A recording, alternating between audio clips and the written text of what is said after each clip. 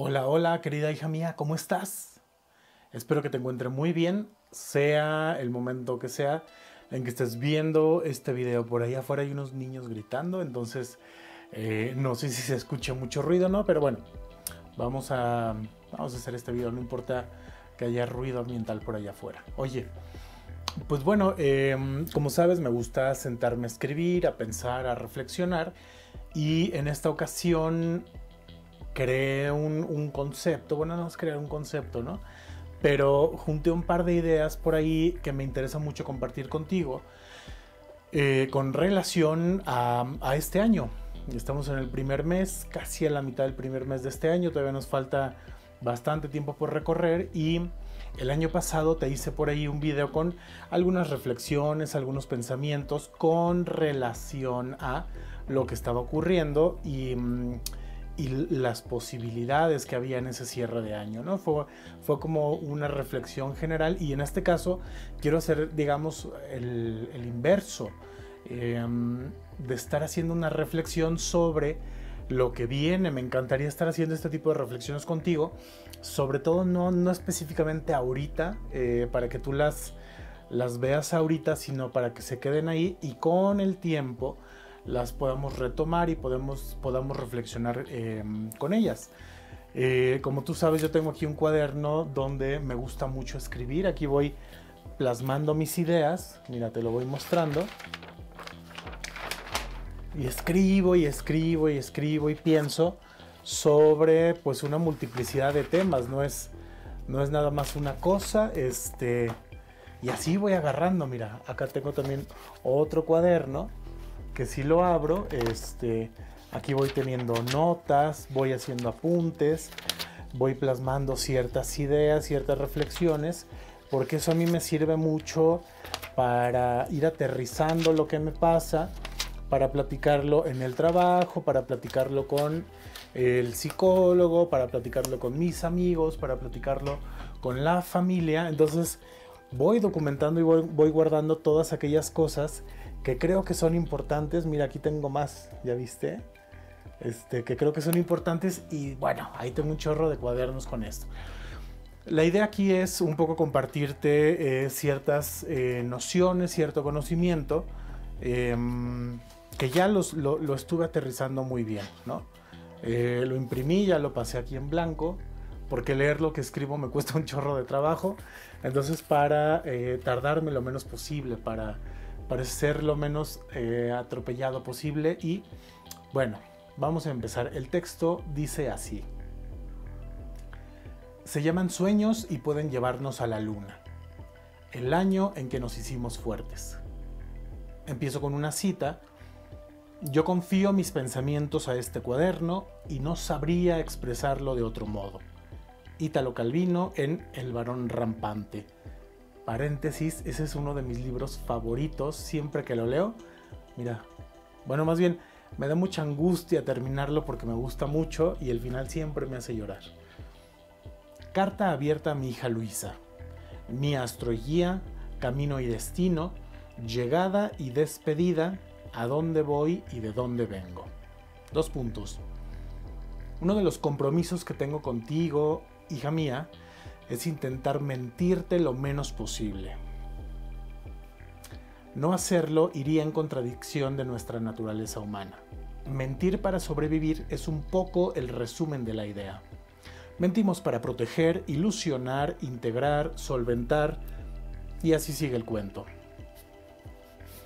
Ahora continúo con una adaptación y traducción libres de una canción que se llama No Distance Left to Run de un grupo que se llama Blur Escúchalo cuando tengas ganas. Y dice así, se acabó, no necesitas decírmelo.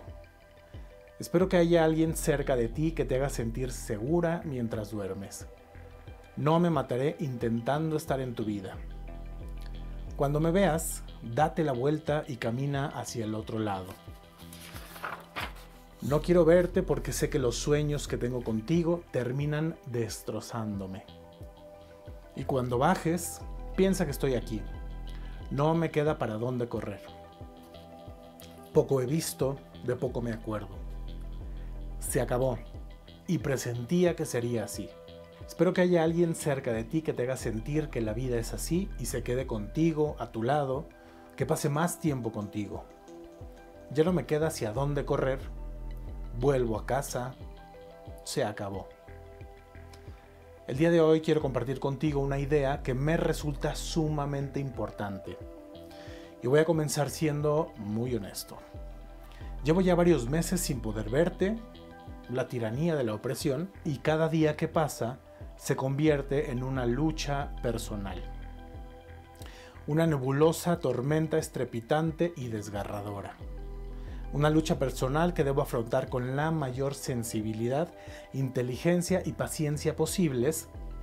Alguien tenía que hacerlo, alguien tenía que asumir esa responsabilidad y yo me la viento por completo. Sigo llorando por ti, por tu recuerdo, sintiendo una nostalgia inefable, enfrascado en la idea absurda de que te encuentras atrapada en una lucha unilateral y carente de todo sentido y gloria. ¿Cómo se le puede llamar a una batalla donde solo hay un peleador?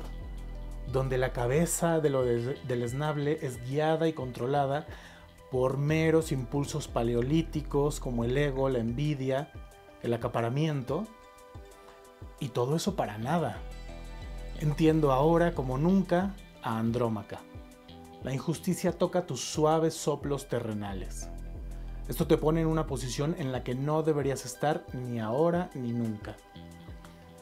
Tu madurez, desarrollo y desenvolvimiento cognitivo no lo permiten en este momento y para eso hace falta mucha empatía.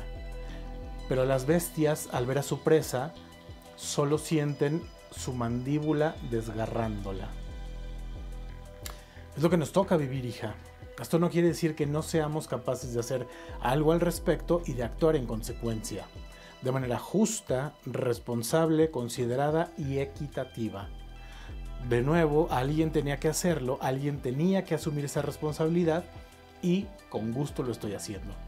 Me gusta pensar que los verdaderos matices de una persona afloran ante la adversidad, la presión, el envenenamiento de la fama combinada con el dinero. Y es ahora nuestra oportunidad para darle valor a nuestras palabras, a mis palabras, a nuestras acciones, a mis acciones, a nuestros pensamientos y a mis pensamientos. Somos mejores que las circunstancias y sabemos comportarnos a la altura. ¿Cierto? Sigo con otra cita. Dice así. El loto en el fango y la orquídea en el desierto. Todo lo he visto, de todo me acuerdo. Este es un pedazo de la canción que se llama Mis ayeres muertos de Rafael Berrio. Chulada. Continúo. Tienes que saber que nunca abandonas mis pensamientos. Casi cada cosa que hago sucede pensando en ti, en tu ahora y en tu porvenir. Y no hay nadie que pueda evitar eso, por más que nos quieran devorar y pisotear. Tú y yo tenemos algo único e irrepetible, con ayuda, sin ayuda y a pesar de los demás. Eso tienes que saberlo, mi querida hija. Este año comienzo un proceso que ayudará a que crezcas lo mejor posible, con mucha salud física, mental, emocional, espiritual, intentando garantizar en todo momento tus derechos e intereses. Quedan aún muchos, muchos años en donde tengo que acompañarte en este bello camino que es tu devenir. Como dice la canción, ¿qué será de ti? ¿Qué será de mí? Eso es algo de lo más romántico e interesante que me quita el sueño y la verdad lo adoro. ¿Cuál es tu devenir, tu potencia? Hagamos todo lo posible para que esa eclosión sea mágica, sorprendente e infinitamente única. ¿Te gustaría? Que seas tú la que traces tu axiomática y no todos aquellos estorbos que te rodeamos, delimitamos o impedimos ser. Escucha esto con mucha atención. Sé libre, sé total, sé completa. Más vale una supernova que un cuerpo oscuro y apacible. Truman Capote en uno de sus grandes textos y particularmente de mis libros favoritos, Música para Camaleones, decía así en su prólogo. Cuando Dios nos ofrece un don, al mismo tiempo nos entrega un látigo. y este solo tiene por finalidad la autoflagelación. Un poco que interpreto de eso es eh, hacer las cosas por diversión es algo. Hacer las cosas bien en lo general es un deber. Pero hacer las cosas con dedicación y perfección, esa diferencia tanto sutil como abismal, remueve toda diversión. La pasión verdadera muchas veces es una tortura, algo realmente alarmante. Cuando descubras eso en ti, podrá caer entonces el látigo. Mi trabajo de acompañamiento tiene que ver con proporcionarte todo tipo de ayuda moral o física para que tú, a cuenta propia e individual, encuentres ese rebenque. Mientras más pronto ocurra, mejor. Repito, este año comienzo con ese proceso. Por ti y para ti, siempre, siempre, siempre. No puedo esperar a que la inconsistencia gane conciencia eso sería como pedirle a los manzanos que dieran peras. Es por eso, hija mía, que este año comenzamos con una serie de cambios fundamentales pero plenamente positivos. Como te dije, tú y yo tenemos algo único, especial e inquebrantable, con los demás, sin los demás y a pesar de los demás. En algunos lustros vas a saber muy bien a qué me refiero. Este año es aquel en que nos toca volvernos más fuertes. ¿Me acompañas? Cuando no sepamos algo, preguntaremos. Buscaremos ayuda y seguro la encontraremos. Cuando no podamos hacer algo, extenderemos nuestros brazos para que nos carguen, levantaremos la voz para que nos escuchen y así podamos recibir todo el apoyo posible. Y cuando no queramos hacer algo, nos cuestionaremos con profundidad esa decisión. ¿Es justo? ¿Es equitativo? ¿Es bueno? Son preguntas que tú tendrás que hacerte en lo individual y yo voy a estar ahí a tu lado para acompañarte en el camino, iluminándolo si tus ojos no pueden ver. Acercando ideas y conocimiento si deseas crear y deseas saber siempre con mi pecho dispuesto como ese bastión emocional, siempre con el tiempo e interés para escucharte, para saber cómo te sientes, qué piensas, qué deseas, y siempre, siempre, siempre ser escuchada y tomada en cuenta. Tu felicidad me importa, tus pensamientos me importan, tus emociones me importan. Hay muchas personas cercanas a nosotros con fuertes discapacidades emocionales, con enormes traumas eh, sin resolver o sin atender con egos tan grandes como lo son sus cinturas, que lo quieren devorar todo, estropear todo, como jabalíes salvajes, creyendo que sus problemas, traumas e incapacidades deben y tienen que afectar a todos. Y la verdad es que no es así. La vida está llena de retos y adversidades, pero juntos podemos apoyarnos y entre los dos salir adelante. Ninguna enfermedad mental o social saboteará tu potencia individual, tu devenir rizomático, tu plenitud como la persona hermosa e individual que eres. Este año veremos cambios enormes y diversas mutaciones.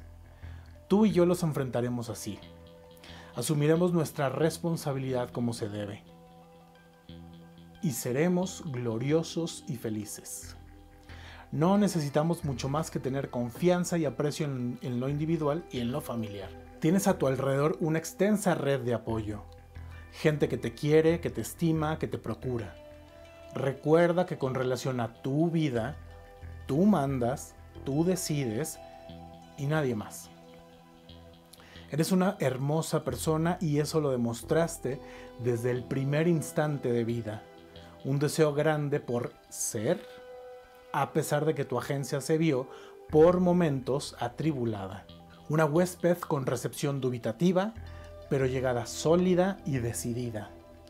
Un derrame y luz imparables, inagotables. Ahora continúo con una interpretación libre de dos canciones, una que se llama Que no te pese y otra que se llama ¿Dónde estabas tú? de Vega. Dice así, Quédate conmigo, te abriré caminos para andar. Tú no sabías qué iba a pasar y está bien. Nuestro amor uno difícil, un tornado a punto de estallar. Que no te pese. La humedad tarde o temprano secará. Poco a poco lograremos que vuelva el nervio. Venga, demos todo siempre y sin pedir. Volquemos nuestra energía en hacer todo siempre feliz. Lo nuestro no es un adiós porque nunca es buen momento. Vayamos al mar, veamos la marea, encontremos las palabras, acallemos esa furia contenida, que el lamento se cubra de otoño y que tus ojos cansados siempre puedan llorar. Salud, memoria e idea.